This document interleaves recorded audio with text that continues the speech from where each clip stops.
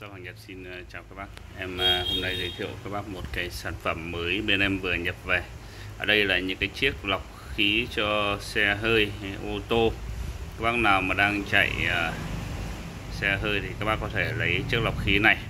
Hoặc là các bác có thể dùng lọc khí trong những cái không gian nhỏ.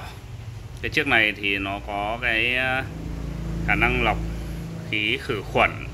Trong cái không gian nó vào khoảng 4 mét vuông đổ lại. 4 mét vuông đổ lại. Cho nên mình có thể dùng lọc khí ở trong ô tô hay là trong những cái không gian nhỏ mà phù hợp nhé các bác nhé. Đây, con này thì ờ, các bác nhìn là nó thiết kế cái cổng sạc cắm ờ, USB cắm củ sạc điện 5V hoặc là các bác có thể cắm sạc dự phòng hoặc là cắm trên cái cổng của ô tô luôn, cổng sạc của ô tô luôn. Đây rất là tiện. Một con ờ, lọc sáp, lọc khí sáp sản xuất năm 2021 này.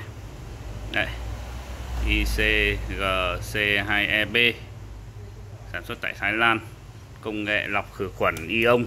Đây có có ba cái cấp độ nhé ta bật tắt này. Ba cấp độ lọc. Đấy. theo như em tìm hiểu thì con này có khả năng khử ion rất là tốt này. Lọc được bụi mịn, khử được mùi, chạy rất là êm ái. Đấy. sản phẩm của hãng sáp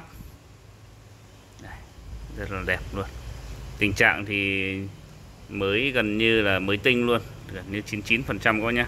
Có thể đây nó sản xuất ra chủ yếu là để lọc khí trong ô tô nhưng mình có thể tận dụng trong các cái không gian mình ờ, ở được. Đấy cửa gió nó có thể mở đóng mở này. Đấy. mật độ ion này. Đấy. trước này bán là một triệu bảy nhá. Một triệu bảy. Đấy, các bác nào đang có nhu cầu ờ, lấy thì các bác alo cho em cắm à, cổng USB nhé lọc khí khử khuẩn cho xe hơi hoặc là trong các cái không gian nhỏ tầm khoảng 4 mét vuông đổ lại.